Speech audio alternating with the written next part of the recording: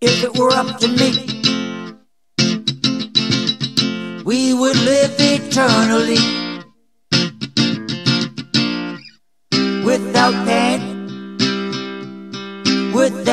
exemption. But as it is for now,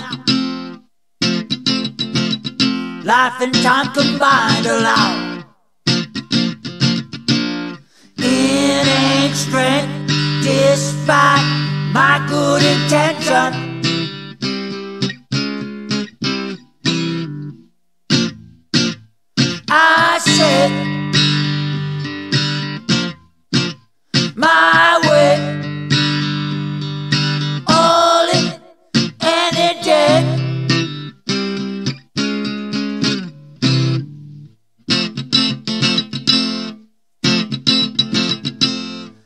It were up to you, where would we be journeyed to?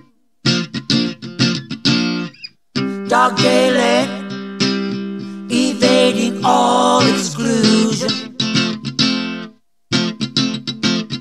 The road beyond back when